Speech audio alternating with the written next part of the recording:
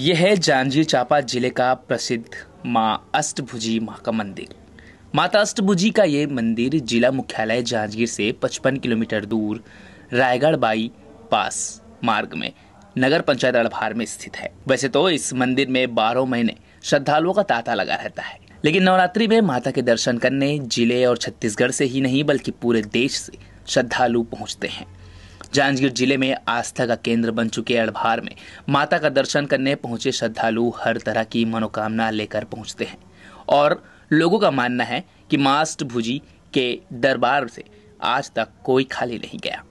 माता अष्टभुजी को लेकर लोगों में अलग अलग मान्यताएँ हैं। और कोई अन्नपूर्णा के रूप में देखते हैं तो कोई विजय प्राप्त करने के आशीर्वाद देने वाली माँ दुर्गा के रूप में।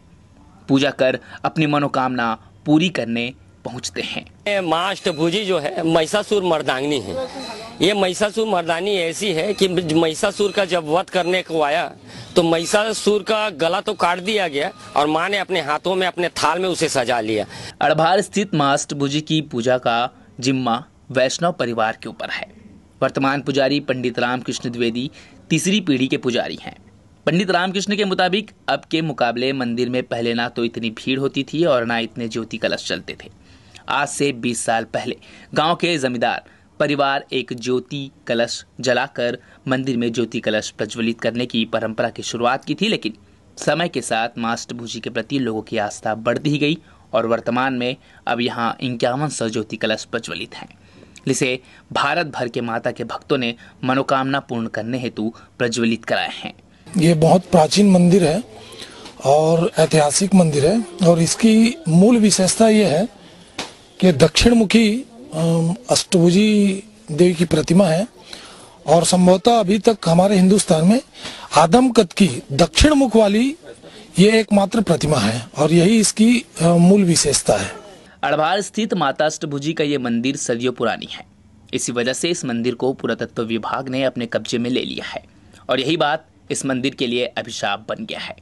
मंदिर प्रबंधन लाखों रुपए होने के बाद भी मंदिर के जीर्णोद्धार के लिए एक ईट तक नहीं लगा पा रहे हैं। मास्ट भुजी मंदिर के ट्रस्टी के मुताबिक, इस मंदिर के इतिहास के बारे में शायद ही किसी को जानकारी हो। मंदिर के ट्रस्टी विकास चौबे का कहना है कि दक्षिण मुखी के प्रतिमा वाली माता की आदमकद प्रतिमा पूरे हिंदुस्तान में अकेले अड़भार में ही विराजमान है। अष्टभुजी जो मंदिर है, भारत देश के सबसे प्राचीनतम वेदशालाओं में से एक है। यहाँ अभी भी ध्वनि यंत्र है, तुरी यंत्र है, दोलन यंत्र है, छाया यंत्र है। जिस स्थान में से ग्रह नक्षत्रों का आसानी से अवलोकन कर हो सके, उसी स्थान पे वेदशाला का निर्माण होता था पहले, बहुत पहले। अभी ये शिवालय है, ये उड़ार हुआ है। आठ का पहला जगह है जहाँ शिव भी है उसी स्थान पे सक... जांजगीर ज़िले के अड़भार में स्थित माँ अष्टभुजी मंदिर को लेकर कई किवदंतियाँ हैं। लेकिन जानकारों के मुताबिक पूरे भारतवर्ष में ये एकमात्र ऐसा मंदिर है, जहाँ शिव और शक्ति का सामंजस्य है।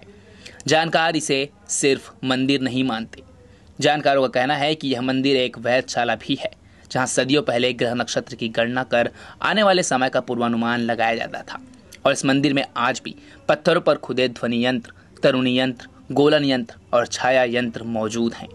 जानकार ये भी बताते हैं कि अड़भार में उड़ीसा कल्चर की छाया है और अष्टदल कमल के बीच बने शिवलिंग आज भी शिव और शक्ति के मिलन के प्रतीक के रूप में मौजूद हैं।